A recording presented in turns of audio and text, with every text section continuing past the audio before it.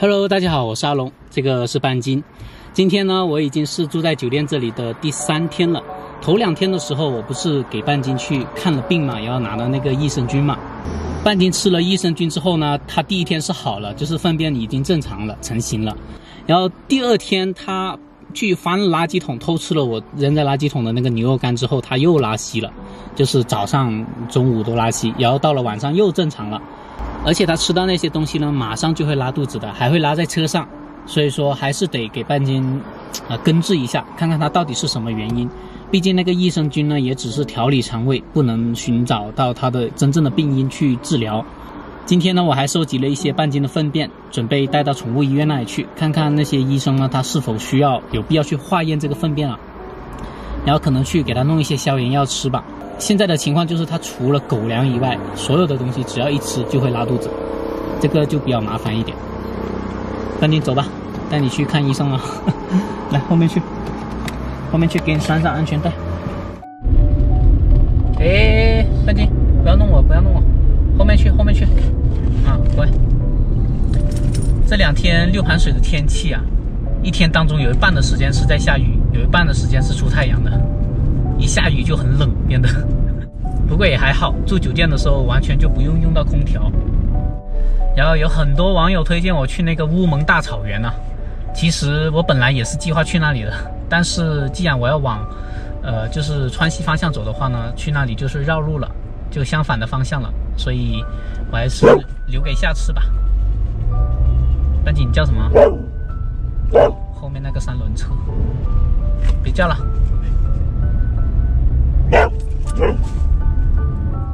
因为上次取快递没有取完，所以呢，待会看完宠物医生之后啊，还得去取一下快递。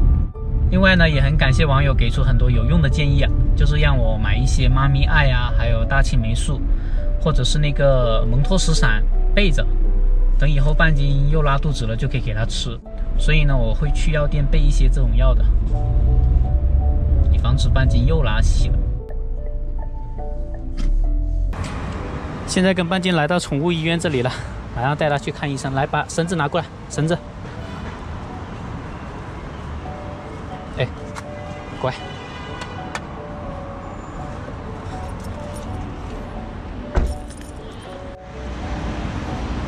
先带半斤溜一下。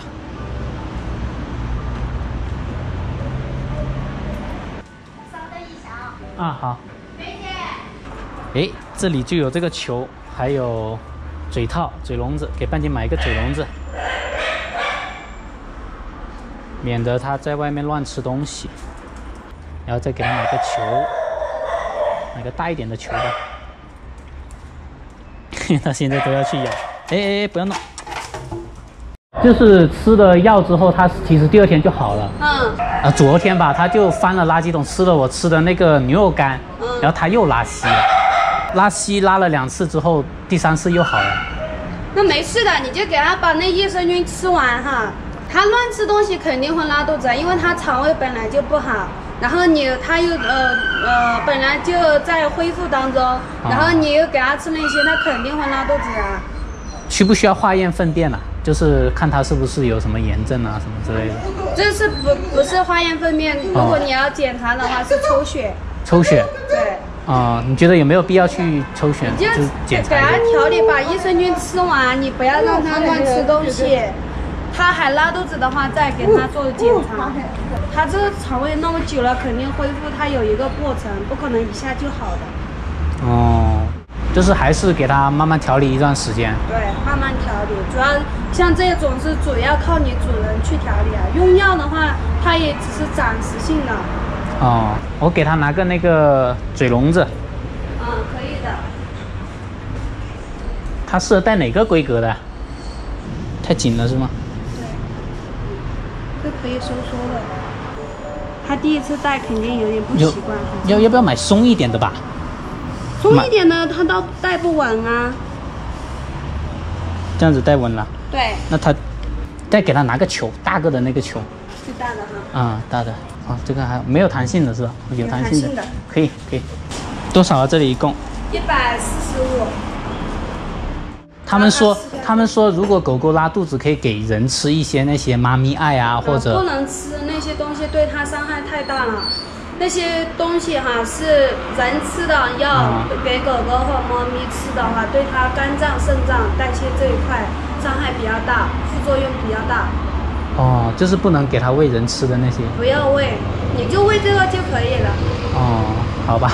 好多人建议我给它喂妈咪爱啊，或者大青霉素啊那些。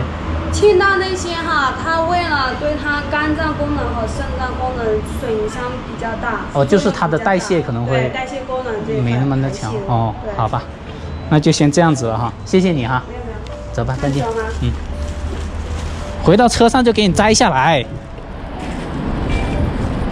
这个这个口罩半斤戴上了，它就不会乱吃东西了，它吃不了，你看，但是它就有点不太好呼吸，不太好呼吸，因为它它是 完全把那个嘴巴给套起来，你看，你看它要去挠，它要去把它给摘下来。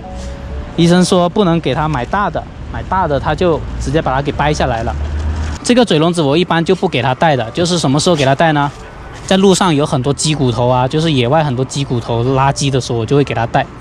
一般没什么情况，像现在城市里边是很干净的情况，我是不会给半斤戴这个口罩的，因为它戴起来它也不舒服。这个要一百块钱，然后还有一个球。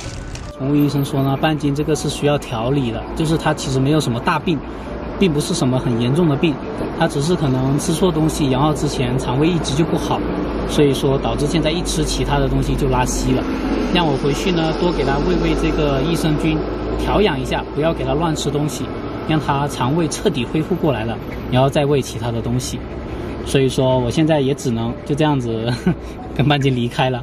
而且这个宠物医生，我问了他呀，他说最好不要吃人吃的药，毕竟狗狗的身体器官代谢能力跟人是不一样的。就是如果吃给它吃妈咪爱啊或者大青霉素那些，它的这个肾脏的伤害会很大。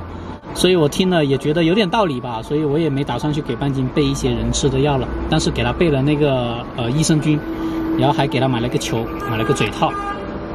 好吧，那也只能相信医生了，因为这家宠物医院是我在，呃，网上找到的，就是设施比较齐全，然后它的环境比较好，就比较大嘛，比较大型的一家宠物医院了，所以现在只能带半斤离开了。现在去取快递，因为我又有两个快递到了，我的邮箱已经冒红灯了，所以要来这里加一下油。哎，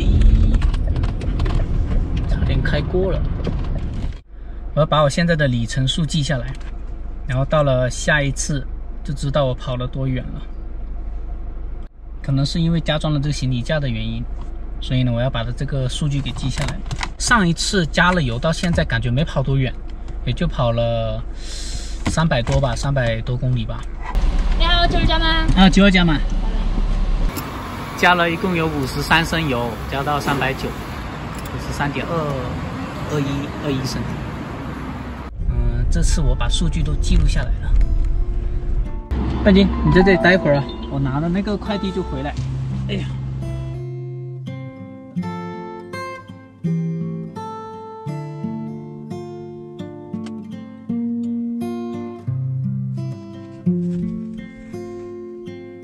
空荡的街景，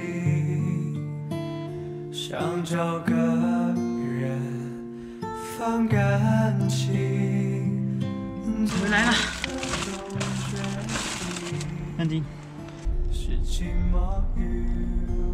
现在我已经回到酒店这里了，给大家拆开来看一下我买的这个是什么。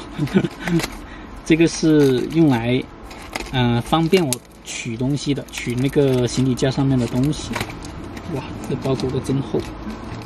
等等，就是这个脚踏，这个脚踏是装在这个钩钩上面的，给大家看一下。这个脚踏就是这样子勾进去，然后就可以踩在上边。这样子就会够得到上面的东西了。给它示范一下，这样子一踩，哎，你看，我这样子就很高了，完全就可以拿，方便的拿上面的东西。这个比较实用，也是网友推荐的，感谢网友，太有才了。呵呵平时不用了就把它放在这个座位底下收起来，这样子。一共是买了两块的，这一块放在前边，三只半斤，那第一只，这第一只。